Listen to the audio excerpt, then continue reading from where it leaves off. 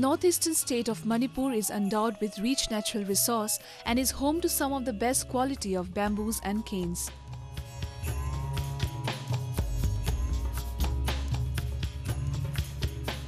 Archery is one of the oldest arts still practiced today and the usage of bows and arrows in making it is immense. The landlocked Manipur is also known for having some of the best archers of India and the world as many youngsters from the state have already set a benchmark in the world of sports. Many are now eyeing into taking up the business of making archery equipment in order to earn a stable livelihood. Meet Chirom Shamuyai from Manipur who was a nationally acclaimed archer himself and has now turned into young bamboo archery equipment maker. ꯑꯗꯨꯒ ꯑꯩ ꯏꯁꯥ ꯍꯧꯖꯤꯛ ꯇꯧꯖꯔꯤꯁꯤ ꯑꯩ ꯍꯥꯟꯅ archery ꯍꯥꯏꯕ ꯃꯁꯥꯟꯅꯁꯦ ꯑꯩ two thousand ꯇꯨꯗꯒꯤ ꯁꯥꯟꯅꯖꯔꯛꯑꯦ ꯑꯗꯨꯒ ꯆꯍꯤ two thousand seven ꯑꯗꯨꯋꯥꯏꯗꯒꯤ ꯁꯤꯒꯤ ꯃꯁꯥꯟꯅꯁꯤ ꯆꯪꯉꯤꯕ ꯏꯟꯗꯔꯅꯥꯎꯟꯒꯤ ꯕꯣ ꯑꯦꯟ ꯑꯦꯔꯣꯁꯦ ꯑꯩ ꯁꯥꯕ ꯍꯧꯖꯔꯛꯄꯅꯤ ꯃꯁꯤ ꯇꯝꯃꯛꯄꯁꯦ ꯑꯩꯈꯣꯏꯒꯤ ꯑꯣꯖꯥ ꯕꯤ ꯆꯥꯎꯕ ꯁꯔꯃ ꯕꯥꯃꯣꯟ ꯂꯩꯀꯥꯏꯗꯒꯤ ꯃꯥꯒꯤ ꯃꯈꯥꯗ ꯃꯥꯅ ꯃꯥ ꯅꯥꯈꯤꯕ ꯈꯣꯠꯈꯤꯕ ꯇꯧ ꯇꯥꯔꯒꯗꯤ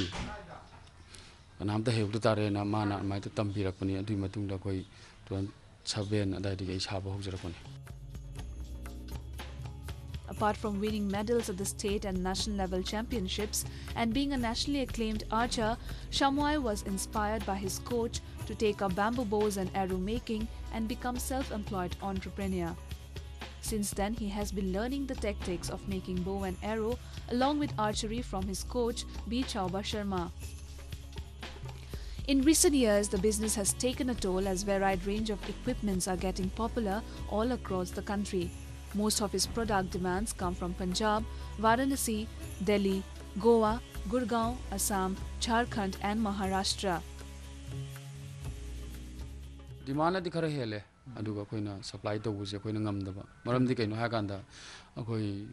paisa yamna marang gaina leitaba government side te jo koi mating phangdaba sina maram mo kan da koi kuchu kulai machine gi item je koi leiba ngam da na khut nga ta su na nam bo oi bana khoi na demand na hen ba supply ji ngam da bani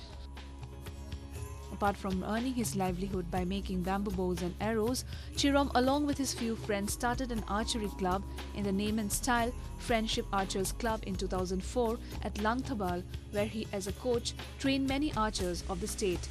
Chirom in the year 2007 went on to venturing his independent factory at his residence of Thongjo Part 2 Canchipur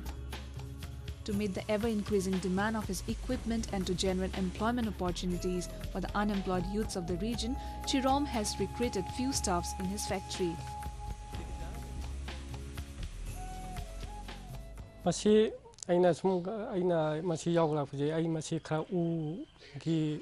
ꯊꯕꯛꯁꯤ ꯈꯔ ꯍꯩꯅꯖꯩ ꯎ ꯊꯕꯛ ꯈꯔ ꯁꯨꯏ ꯑꯗꯨꯅ ꯑꯩ ꯃꯁꯤ ꯑꯩ ꯃꯁꯤ ꯁꯨꯒꯦ ꯑꯗꯨꯒ ꯑꯩꯒꯤꯁꯨ ꯈꯔ ꯌꯨꯝꯒꯤ ꯀꯩꯒꯤ ꯑꯣꯏꯔꯁꯨ ꯑꯇꯩ ꯑꯇꯩꯒꯤ ꯑꯣꯏꯔꯁꯨ ꯈꯔ ꯃꯦꯟꯇꯦꯟ ꯇꯧꯕ ꯉꯝꯒꯗ꯭ꯔꯥ ꯍꯥꯏꯕꯒꯤ ꯑꯩ ꯁꯤꯁꯨ It is noteworthy that Shamuyai and his team produces 10 to 15 good quality bows in a month and 500 to 1000 bamboo arrows per month. The price ranges from rupees 5000 to rupees 6000 for each set. Chirom now urges the state government to look onto the positive aspect of arrow and bow making and believes that provision of financial help can procure good machineries which would further enhance the production and at the same time create better job avenues for the educated unemployed of the state.